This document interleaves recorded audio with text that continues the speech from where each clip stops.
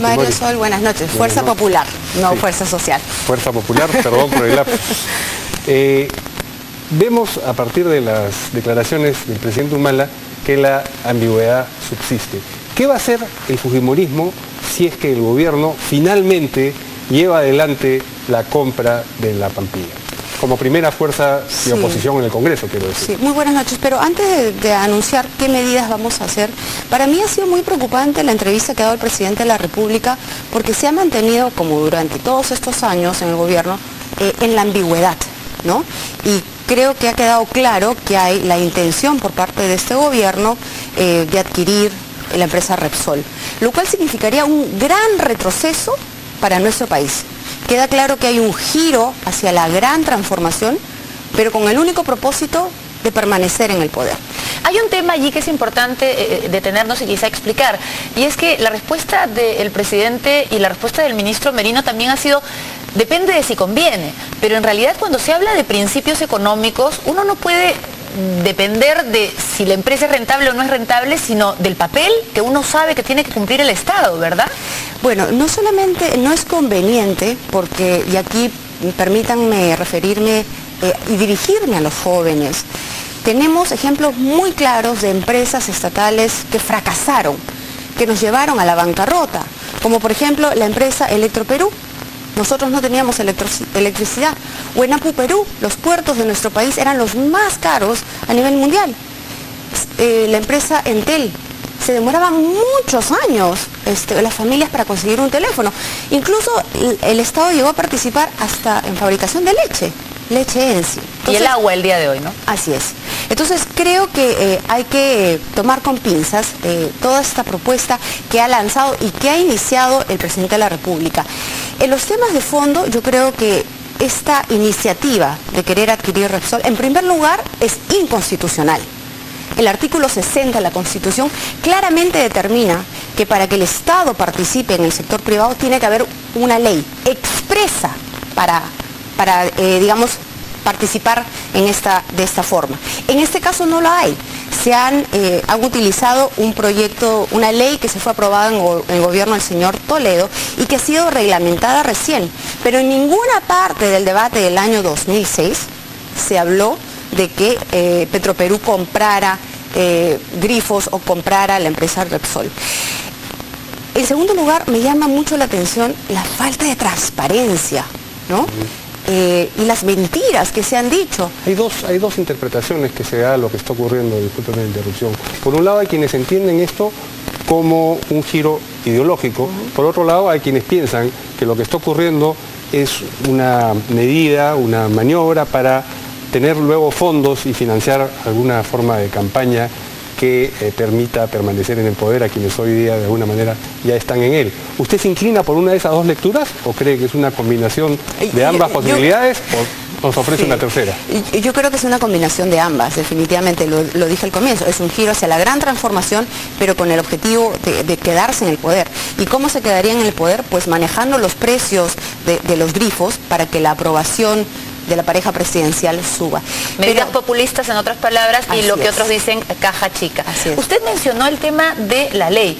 Dijo que la Constitución prohíbe este tipo de papel del Estado ahora y que hubieran requerido una ley que no tienen y se están aprovechando de una interpretación de una ley. Pero ya que hablamos de leyes, entonces es el Congreso el que tendría en sus manos, como lo tuvo en el momento de la estatización de la banca, la posibilidad de darle tranquilidad al país en este momento. ¿Cómo? Dando una ley que aclare esto y que verdaderamente establezca que no se puede hacer este tipo de aventuras empresariales cuando ese no es el modelo que nos ha sacado de una desgracia consistente en el pasado.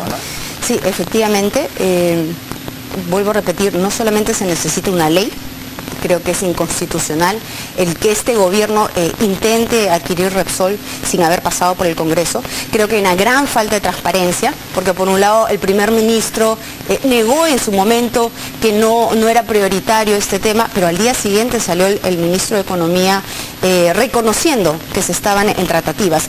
Y en tercer lugar, creo que es fundamental también saber cuáles son las prioridades de este gobierno invertir 400 millones de dólares en chatarra con un compromiso adicional de 900 millones de dólares en estos momentos en nuestro país, yo creo que no lo debemos hacer para ese caso.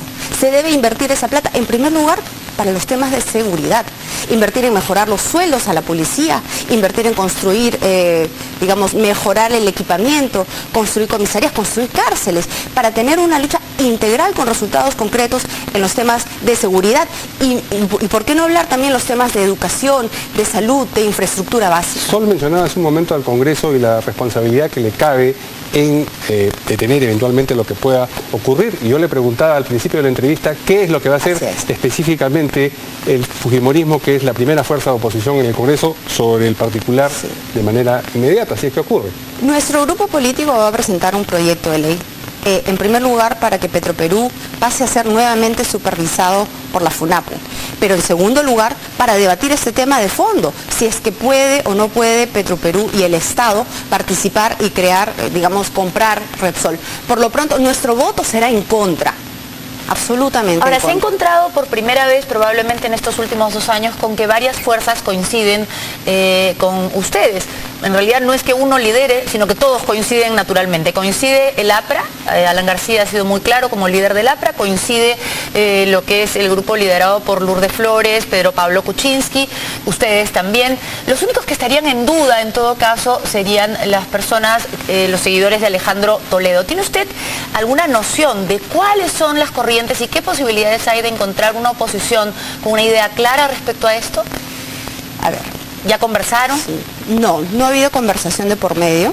Eh, en primer lugar, permítanme eh, reconocer eh, el trabajo que viene haciendo mi grupo político. Desde el primer día, nosotros hemos venido trabajando como un grupo de oposición.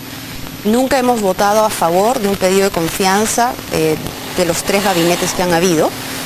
Eh, hemos votado siempre en contra cuando han habido pedidos de facultades para legislar en materia tributaria, eh, para legislar en temas de defensa o de seguridad y hemos presentado una serie de iniciativas para interpelar o censurar a ministros que han actuado o han cometido errores.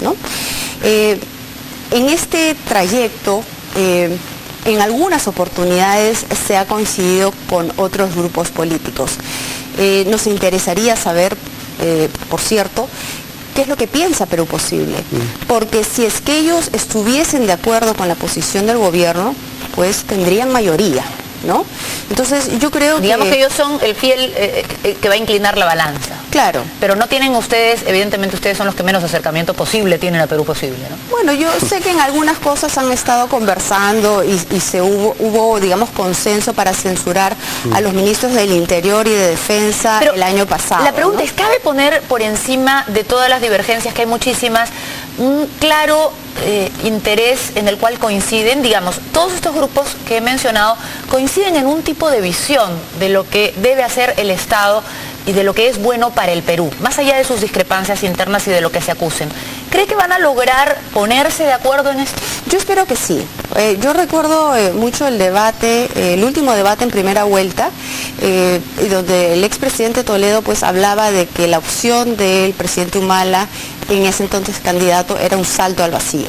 Y que él y él hizo una defensa digamos del modelo económico de las políticas de Estado en temas económicos. Entonces yo creo que hay ciertos puntos en los que obviamente vamos a coincidir y deberemos de trabajar juntos por el beneficio de nuestro país, por cuidar nuestra economía y también por cuidar nuestra democracia. Más allá del problema específico de la plantilla, lo que está en debate es el rol del Estado a propósito sobre todo de la exploración, de explotación de petróleo, de la comercialización también. ¿Usted cree que Petro Perú debería ser privatizada? Porque, digamos, durante el gobierno del fujimorismo anterior eso no ocurrió. Yo creo que hay ciertas empresas estatales, como por ejemplo Sedapal, que se tienen que mantener. Y en este caso Petroperú también tiene a su cargo la refinería de Talara. Lo que en todo caso debería hacer Petroperú es inyectarle muchos recursos y modernizar la refinería de Talara porque de ese trabajo pues viven miles de personas en la región de Piura. Entonces, yo no critico la naturaleza de una empresa estatal, pero creo que está demostrado, sobre todo a lo largo de nuestra historia, que normalmente el Estado es un mal empresario. No quiero dejar de preguntarle, antes de, despedirnos, por el tema de la candidatura de Nadine Heredia. Se ha publicado una encuesta en la cual las eh, ponen como las de mayor fuerza en una primera vuelta, pero ya la pondrían a ella como ganadora en una eventual segunda vuelta. El presidente Humala ha declarado hoy día nuevamente en su forma críptica de referirse al tema que esto no está en el tapete, en agenda o algo por el estilo. Pero lo cierto es que está, me imagino, dando vueltas, ¿verdad? ¿Qué piensa de eso? No solamente, digamos, le preguntaron por el tema, sino le hicieron la pregunta específica, ¿por qué usted, digamos, no zanja este tema, no? Y él específicamente dejó nuevamente, como muchos de los temas, eh, en la ambigüedad. La ley claramente indica que la señora Nadine Heredia tiene un impedimento, un impedimento legal y constitucional. Eh, yo creo que le haría bien, digamos, a la pareja presidencial zanjar ese tema si es que ellos deciden postularla, pues en todo caso que presenten un proyecto de ley, que lo hagan de manera transparente y que sea más cuidadosa en la utilización de los recursos del Estado. Y si es lo contrario, pues que lo diga de una manera abierta, transparente, desde ahora. ¿Y esa ley no es negociable ni siquiera con la libertad de su padre? De ninguna manera. La libertad de mi padre es un tema de principio. La familia eh, presentó esta solicitud por propuesta del propio Pero si le dicen, ya, apóyennos en esa ley y indultamos a su padre. De ninguna manera. El tema de mi padre no se negocia de ninguna manera con ningún tema. Finalmente, a fin de marcar un contraste con esa ambigüedad, ¿usted nos puede afirmar hoy día si es que va a postular o no en el 2016? bueno, eso se va a ver más adelante, pero de todas maneras Fuerza Popular, el Fujimorismo va a participar y agradecemos eh, las simpatías y el respaldo que tenemos, que nos muestra pues que estamos en un primer lugar por el trabajo silencioso que hacemos, por este compromiso con la seguridad, con los, sectores más populares de nuestro país. Eh, y seguimos trabajando ahora en el fortalecimiento de Fuerza Popular, el único partido del Fujimorismo. Muy bien, le agradecemos a...